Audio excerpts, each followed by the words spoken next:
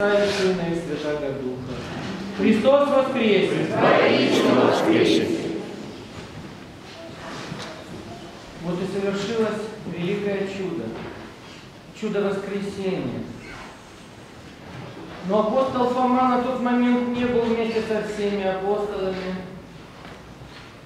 и не увидел воскресшего Христа.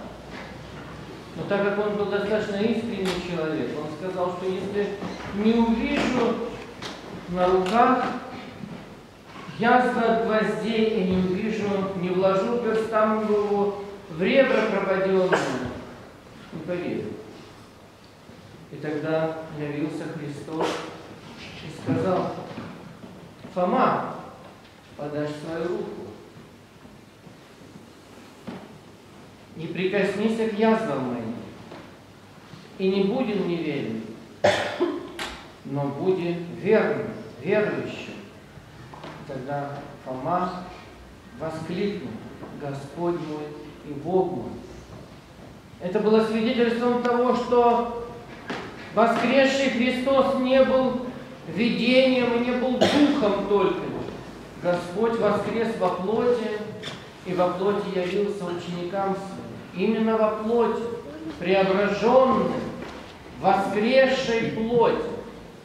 И Он предстал пред всеми учениками. И это уже не дает повода раскольникам и сектантам говорить, что это дух.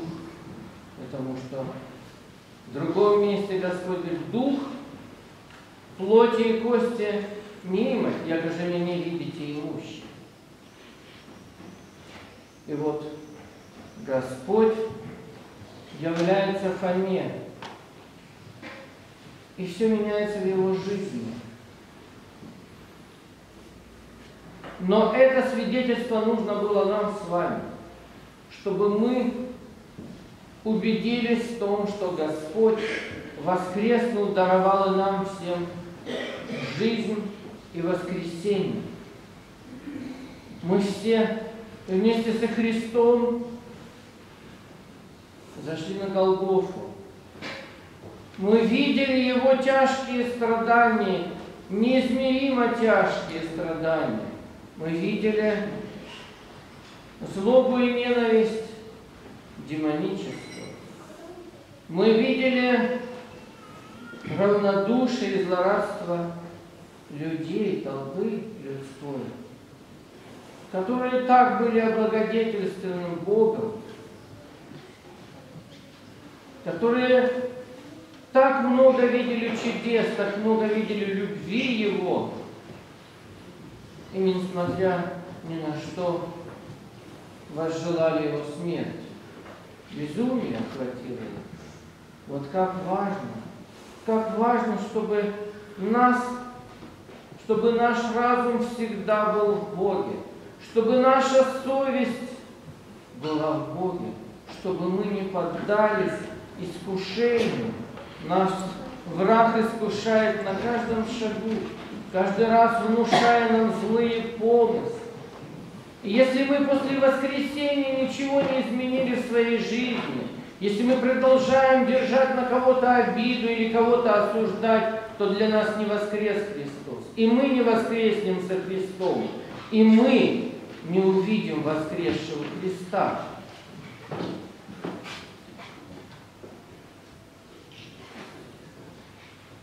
Господь не для того понес такие страшные страдания, такую жесточайшую смерть, когда вся злоба дьявольская восстала против Него и излила, когда мы, мы когда читаем Евангелие, когда читаем свидетельства современной медицине, исследования, то действительно ужасаемся. Такие же дикие страдания, страшные страдания перенес Христос. И Он знал, на что идет. Он, он шел ради любви, ради спасения. Да, Он обличал жестоких людей, Он обличал их жестокие сердца. Для чего? для того, чтобы спасти, для того, чтобы избавить их от гордыни, от тщеславия, от злочестия, для того, чтобы их исправить. Потому что Он любил людей и любит. Но люди не услышали много Его. Но сказано, что тем, кто услышал Его и изменил свою жизнь, и не стал злобствовать, и не стал мстить за мученичество Христа, тем Господь дарует Царствие Божие. Поэтому подумаем мы о себе, заглянем себе в душу, и если в нашей душе зреет этот червяк гордыни, самолюбия, зависти, обиды, злобы, ненависти, то мы не с Богом. Мы так и не познали воскресения Христова. Мы так и остались вне храма, если даже и стоим внутри храма. Вот это самое главное, знак самый главный воскресения Христова, когда в нас воссиял свет Христова воскресения, воссиял свет любви Христовой, когда мы ради Христа готовы любить каждого, готовы стать для Него самым близким, готовы стать для Него рабом, любить Его всей душой и всем сердцем. Вот тогда в нашем сердце есть Христос. Вот тогда действительно нас коснулось воскресение, радость воскресения, святая Пасха. А если и эта Пасха пройдет стороной, и в нашей душе останется то же самое, то вряд ли нам стоит надеяться на то, что мы увидимся со Христом. Безусловно, нет на, этой, нет на земле человека, и же поживет и не согрешит. У каждого есть грехи, и каждый кается в них. Но если человек ничего не изменил по отношению к своему ближнему, потому что вспомните, что основную христианскую мысль вложил нам Господь. Возлюби основные заповеди. Возлюби Бога всем сердцем и ближнего, как самого себя. Если мы согрешаем против ближнего и продолжаем злобиться на Него, нет в нас Христа, нет в нас сердца воскресения Его. Пасха прошла мимо.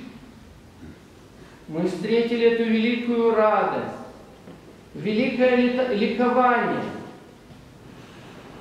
Пасха продолжается. И есть время еще исправить жизнь нашу, покаяться, избавиться от влияния дьявольского, от влияния коварных помыслов лукавых. И также представь, как Фома, который через неделю пристал и начал сомневаться, а Господь ему сказал, дашь руку свою и вложи перст свой в язвы мои, и не будь неверен, но верен. Уже каждый из нас услышит этот глаз, потому что этот глаз должен отозваться в сердце каждого из нас – чтобы мы поняли, как для нас важно верить и жить по вере. Аминь.